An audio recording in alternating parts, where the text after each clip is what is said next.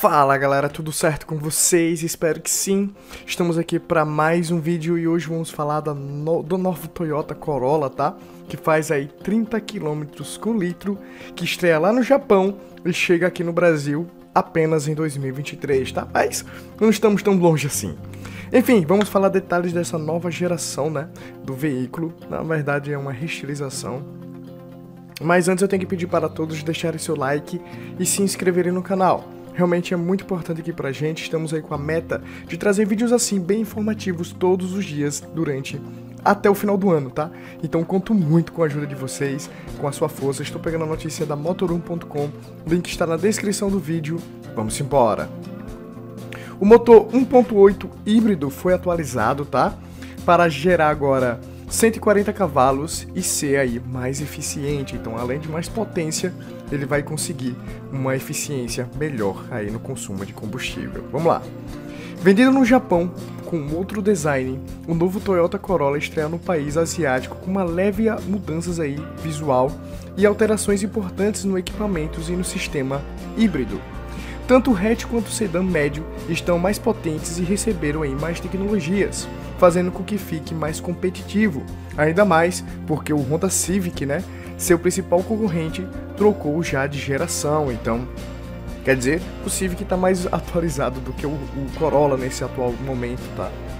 A 12 geração do Corolla foi lançada no exterior em 2018, enquanto então a fabricante já fez a sua restilização aí de meia vida, né, 4 aninhos, já é o suficiente para isso, que chegará ao Brasil no ano que vem, a mudança mais importante está na motorização, onde o motor 1.8 híbrido recebeu um propulsor elétrico mais potente, agora gerando seus 140 cavalos de potência combinada, que é bem considerável, né? A mudança de potência, que era antigamente 122 cavalos no modelo que ainda é vendido aqui no Brasil, tá?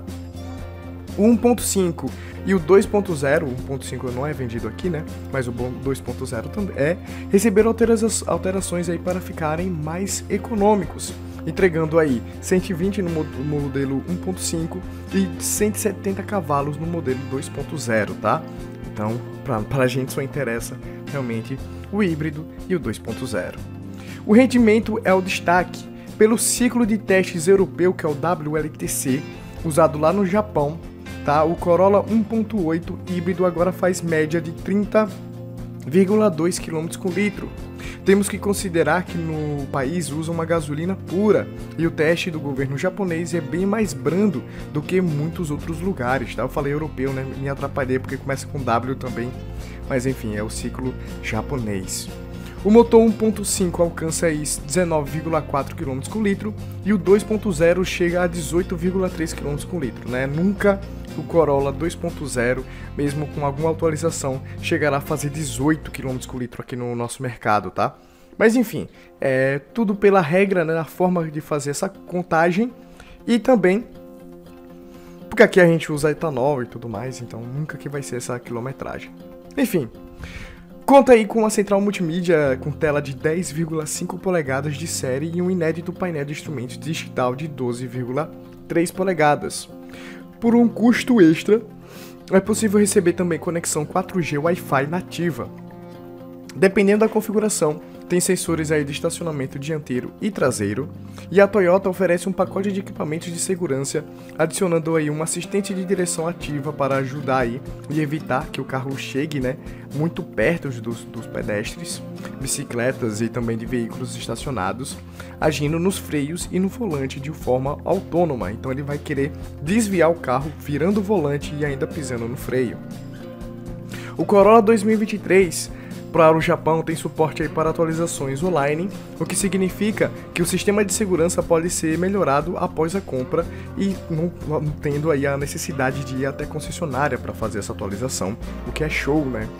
A tecnologia de segurança pré-colisão agora pode detectar carros enquanto faz a curva em um cruzamento de pedestres atravessando a rua, algo que o Toyota Sense, né, que é vendido agora, né, com, esse, com esses pacotes em 2023, não possui.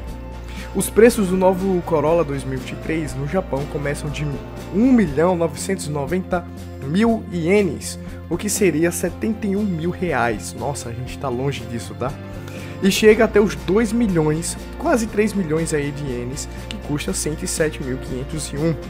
A versão Perua Touring, né, tem aí preços entre 2 milhões e 70 e 3 milhões e 48, tá? O que seria 74 mil a 109 mil reais. Enquanto o hatchback vendido com, como Corolla Sport pode custar entre 2 milhões e 200 a 2 milhões e 890, o que seria em torno de 78.887 a 103 mil reais. O Toyota, o Toyota Corolla renovado já está confirmado para chegar aqui no Brasil, tá? Fazendo sua estreia já no ano que vem. A fabricante anunciou este ano um investimento aí de 50 milhões na fábrica de Indaiatuba, lá em São Paulo, e para, abre aspas, tá? A renovação do ciclo de vida da, do Corolla Sedan. A expectativa é que faça a estreia no primeiro semestre já, para responder à chegada do novo Civic, que chegará aí, né, no final do ano, tá?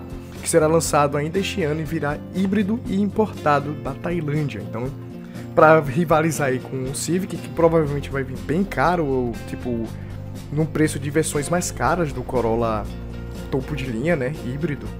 Então não vai vender tão bem assim, porque só vai vir provavelmente uma ou duas versões, muito mais provável, muito mais provável que seja apenas uma. Mas, e aí a versão topo de linha né, do Corolla vai rivalizar aí com as versões do Civic aqui no nosso mercado, beleza? Enfim, galera, muito obrigado por ter assistido até aqui. Deixem aquele like, se inscrevam no canal, temos vídeo todos os dias, então para você aí se manter sempre atualizado no mundo dos automóveis, beleza? Valeu, galera, falou e até até mais.